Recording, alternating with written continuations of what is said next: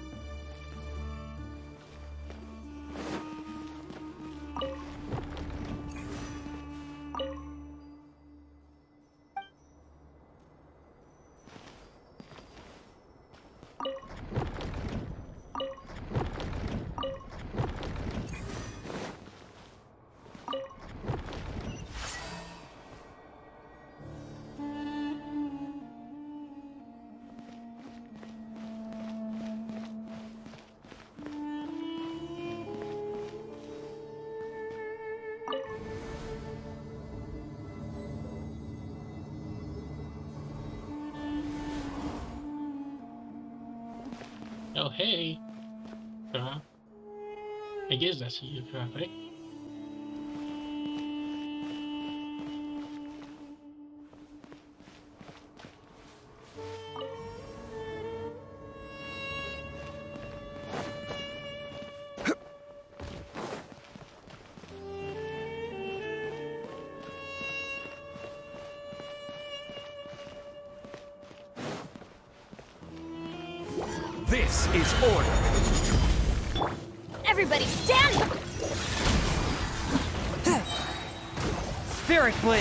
Attack! Stabilize!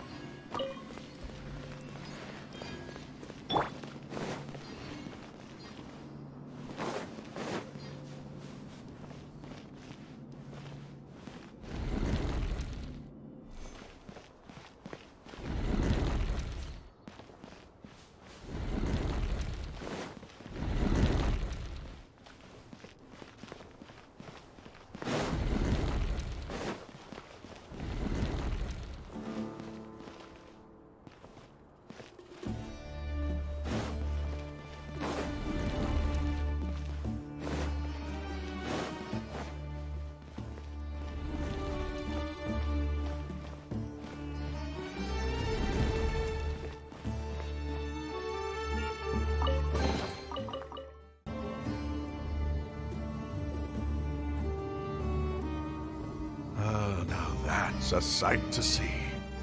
The Scarlet King's splendor surrounds us. There's so much vegetation here. It's different than what I expected. Sure are a lot of plants for a desert. That's what I call divine providence of the Scarlet King.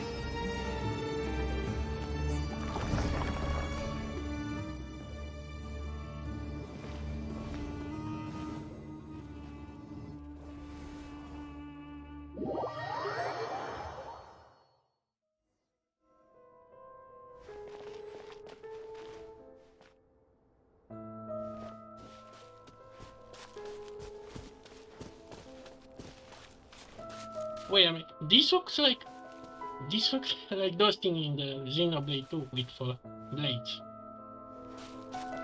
It's getting brighter! Oh, it looks so beautiful!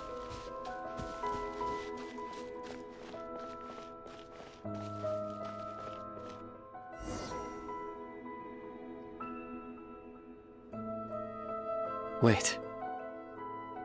What's that?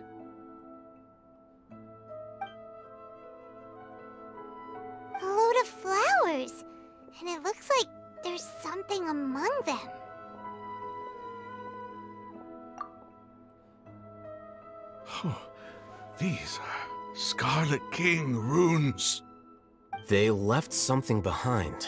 Hmm. Yes. It's an elegy written in an ancient script. What does it say? Here lies our faithful priest Kasala. Who? His wisdom is a miracle among the people, deserving of high praise and admiration. You can read ancient Scarlet King script? Of course. Every student needs to master at least 20 languages before they graduate. He's not serious, right? There's still something off about this place. The elemental energy here is too concentrated. The scent of life. Is it trying to tell us something? Hmm. Is this it? Analyzing. What was that sound? Hmm. There seems to be a hidden message among these skeletal remains. Excellent. There's a device from the Scarlet King's civilization in this gravesite. I'll transmit the information over and project it for everyone to see. Isn't sharing knowledge against the Academia's rules? Yes. However, under the circumstances, I'd prefer you to see this for yourself. You'll understand after watching it.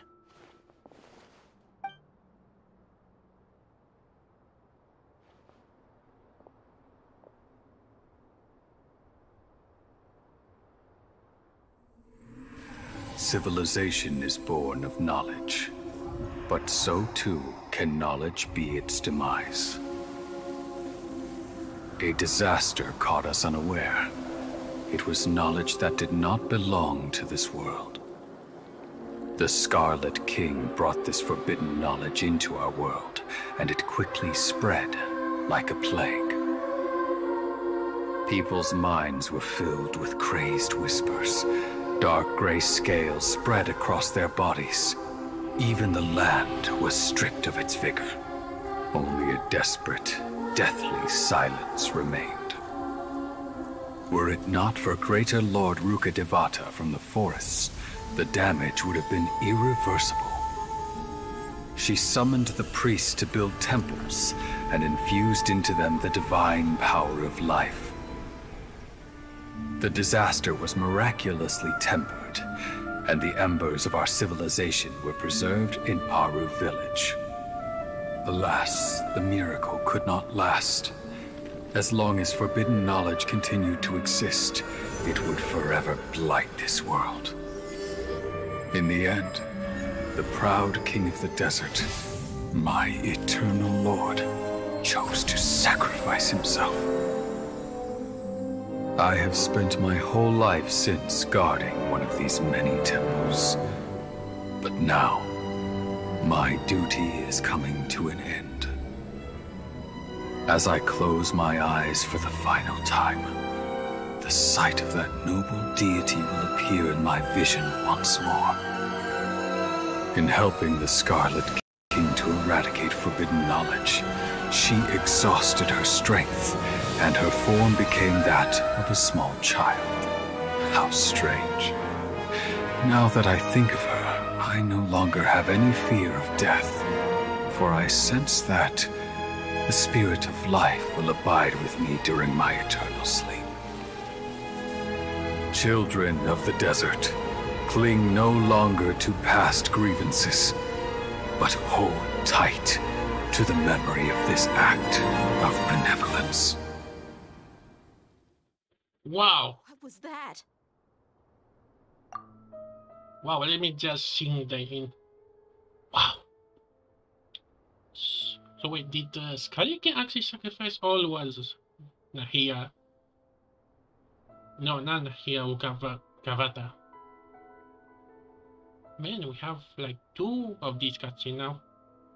They're really not pulling back, getting better. The priest's memories. No. No, impossible. Greater Lord Rukkhadevata. So the former Dendro Archon and the Scarlet King were never enemies at all. Uh, but this doesn't make any sense. The Dendro Archon's followers, they're clearly... Was that the former Dendro Archon? She became so tiny in the end.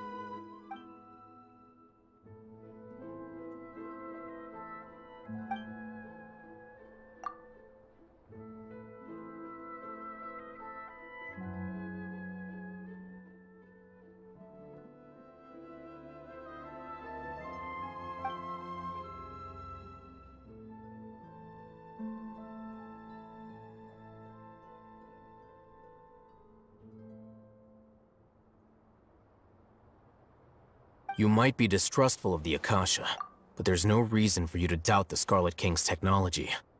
You've just witnessed his priest's last words. I've never heard about any of this before. The surviving followers of the Scarlet King all gathered in Aaru village. Our god did not make mistakes. We refused to believe any of the rumors. The Scarlet King's death the all but total annihilation of our civilization. It was all Greater Lord Rukkhadevata's doing. We saw her as nothing more than a traitor. Who stabbed us in the back in our moment of crisis. Just like us humans. Fighting, feuding, double-crossing each other to survive in the desert. You were blinded by your prejudice.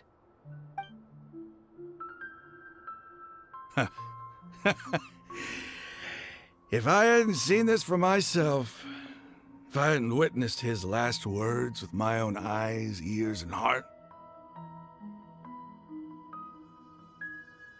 how could I ever begin to accept this? The truth is so far from what I've always known.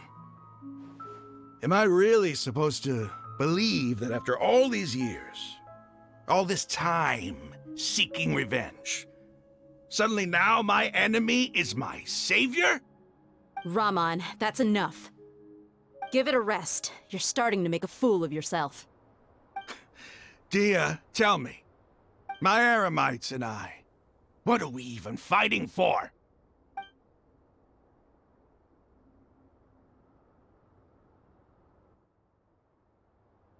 Hey, how you doing?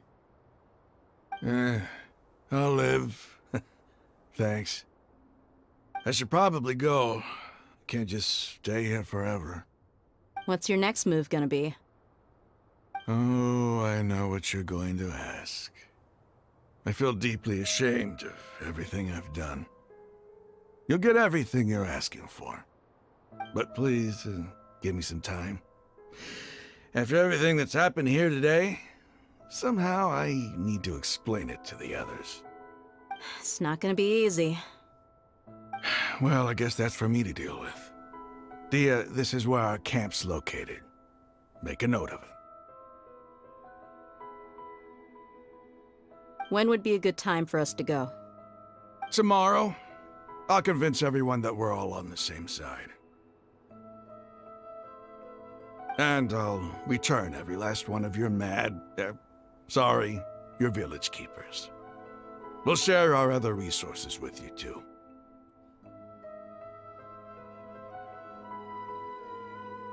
You seem to finally understand that our true enemy is the Sages.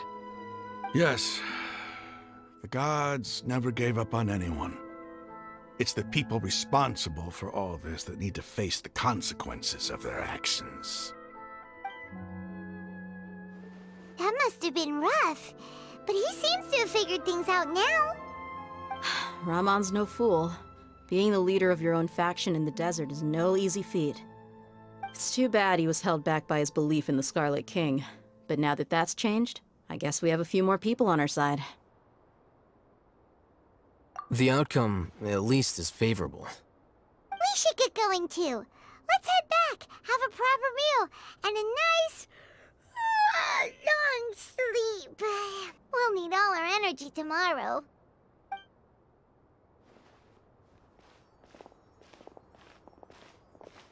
Hmm.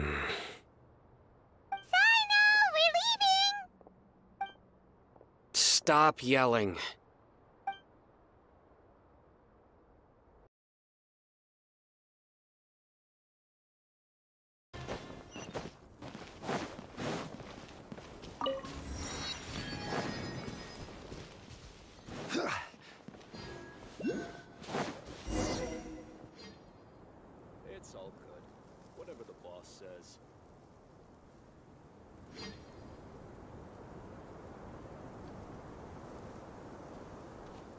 Ramon, we're here.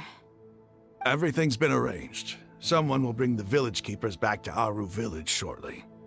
I guess all I can say now is thanks for agreeing to help. Ah, don't mention it. I think we can both agree you went to hell and back for it. But we share a common cause now. From here on out, we're allies. Where are the perpetrators? I'll bring you to them. Follow me.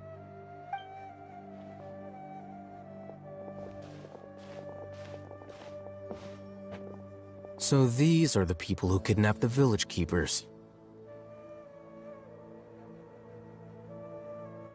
Oh no, it's the scribe! There's no need to yell. No one can help you now. We've been all over the desert trying to find you! That's right.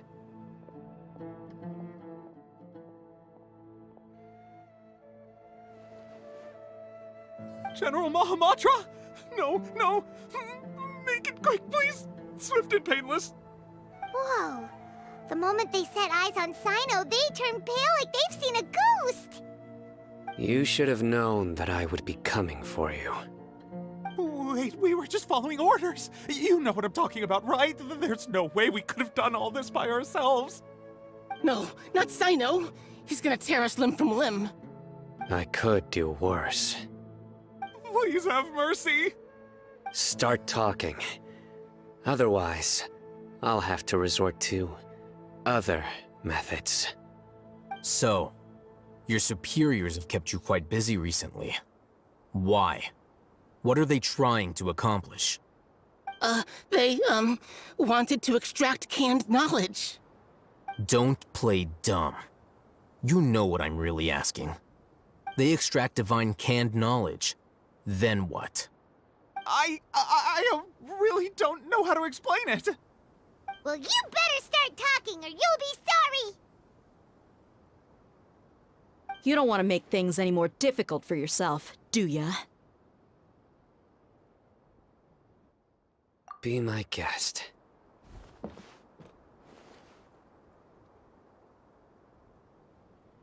Man, I like this picture.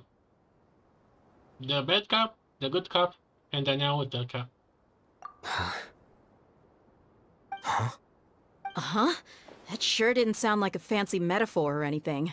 You're serious, aren't you? How did you know? There's no use hiding it now. Yes, you're right.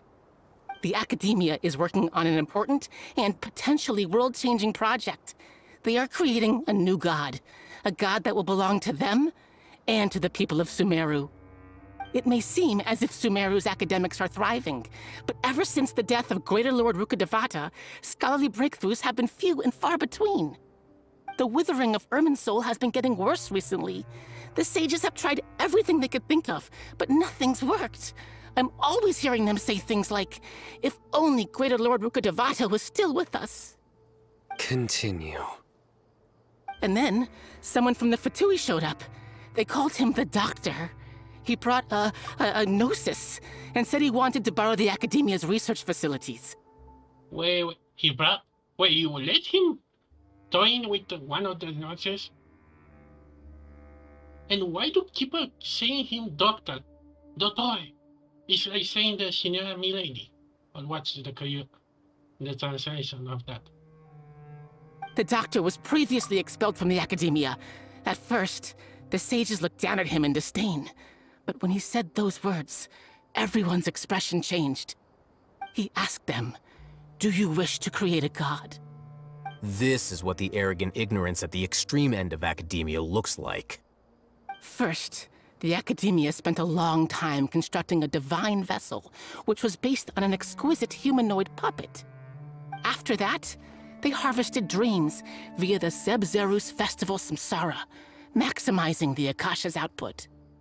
With the Doctor's help, and the Akasha now functioning at maximum efficiency, they were able to use it to extract the power from the Gnosis and convert it into a divine core.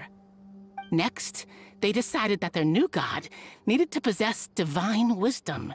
For that to happen, they needed a huge quantity of divine canned knowledge.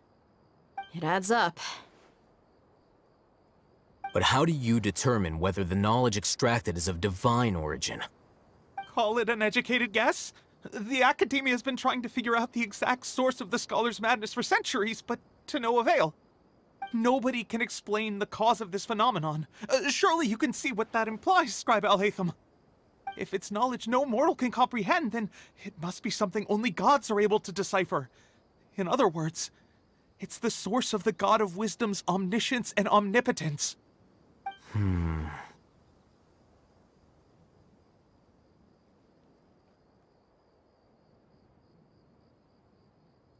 You must have noticed by now. The Academia doesn't care about who their god is. It's the ability to exercise control over knowledge and wisdom that matters. It is as if they are cursed with a desire for omniscience and omnipotence that burns in their blood. Some organisms demonstrate phototaxis, and thus orient their entire lives in respect to sources of light. For the sages, their only source of hope is the existence of a deity who embodies the acme of wisdom. This is but a form of phototaxis, for many scholars, the absence of a god of wisdom means stumbling in the darkness for the duration of their lives. Then what does Lesser Lord Kusanali mean to you? Is she not a true god present in this world? If you already have a new god, why try to create another one? From the beginning, the Academia has never treated her as a god. When the Academia first discovered Lesser Lord Kusanali, the newborn god of wisdom, the sages hoped that she would be as wise as Greater Lord Rukkhadevata. But upon evaluation, they found that at the time she possessed no more intelligence than any ordinary human child. Sages never had a ruder awakening. This forced them to accept that Greater Lord Rukkhadevata had indeed passed away. So I see, indeed was like a child? Because I, kind of saw an animation like how did the why didn't they accept it but I guess we have now the confirmation. Not to mention that Lesser Lord Kusanali's Gnosis had been used to power the Akasha this entire time. By herself, she has neither an Archon's raw power, nor the spectacular insight expected of a god of wisdom. Slowly but surely, people began to forget about her existence. So, this is the path the sages have chosen.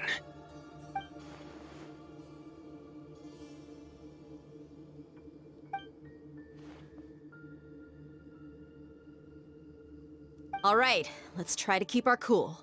If everyone's in a bad mood, then let's change up our scenery. Raman, give me a few men to help us escort the village keepers back to the village. And these two scholars, they're coming too.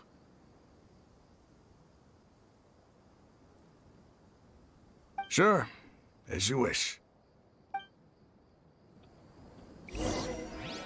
Man, that was some heavy exposition again. I think I feel we close to the end game.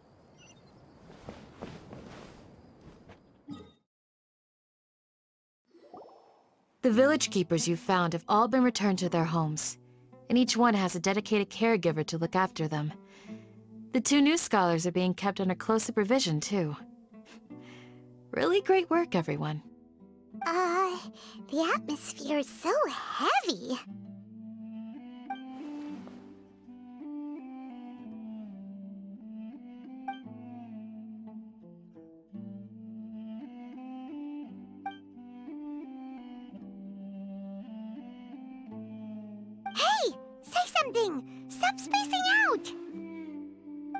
Come is there nothing left to talk about? In that case, let's all get some water and try to think about something else. Or I can go fetch some snacks. Oh, Paimon's so coming with you. Do you have any plans, Traveler?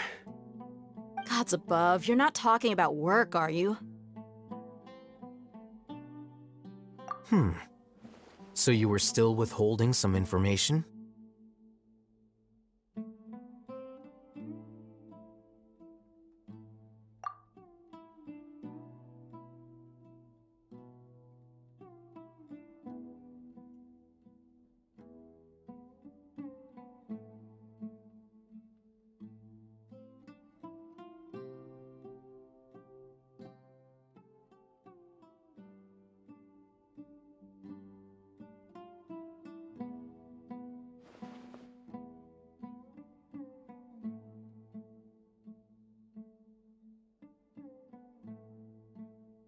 Though we lived through all of this firsthand, it still feels super surreal to hear you talk about it again. What a whirlwind of a story. I felt like I was holding my breath the whole time. It seems like there'll be more issues to face in the days ahead than I'd anticipated. Hmm. Still, now's a good time to make our next move. Now that Ramon's joined us, we'll be an even stronger team. It's time to make a plan. Indeed. These events are a flagrant transgression of the rules in every sense. We cannot allow it to continue. So, everyone, are we on the same page? Crush the Sages and rescue our god. That is our ultimate goal.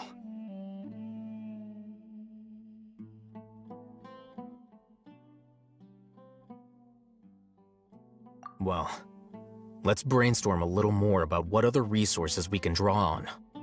The next time we gather here, we must have a solid plan. Yep, it'll work out for sure.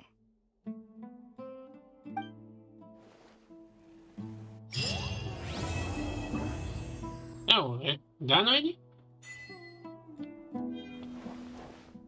Wait, don't tell me we're gonna end right here.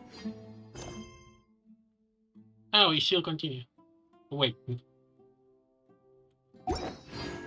Wait a minute.